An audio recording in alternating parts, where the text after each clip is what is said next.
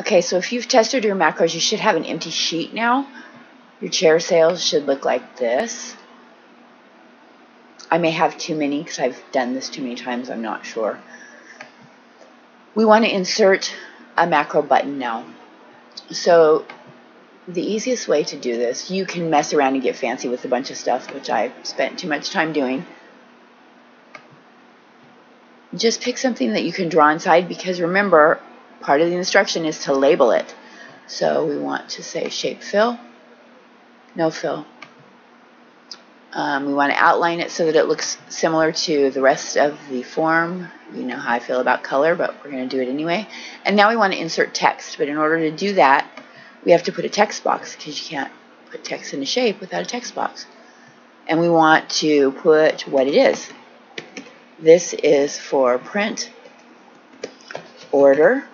We want to send the text box backward so it's behind the shape and we want to make sure that it fits within the shape.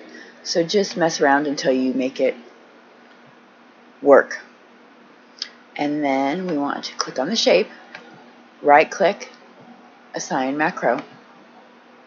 Choose this workbook, workbook, print order, say OK.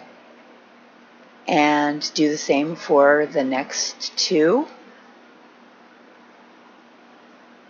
macros. Once you get that all done for all three buttons, you want to make sure that you have all sheets protected. And here's another important part that some people miss out on. Save as you need to change the type. It will automatically default to an Excel workbook, but that will not save your macros. You need to change it to macro enabled workbook and then save it with the appropriate name and you're done with this part. What you need to do now is uh, test your macros, make sure that they work, and if they don't, troubleshoot them. I've given you all the tips, tips I can. Everybody has my text if you need to call me or my phone number. Um, good luck. Seems like you're doing well.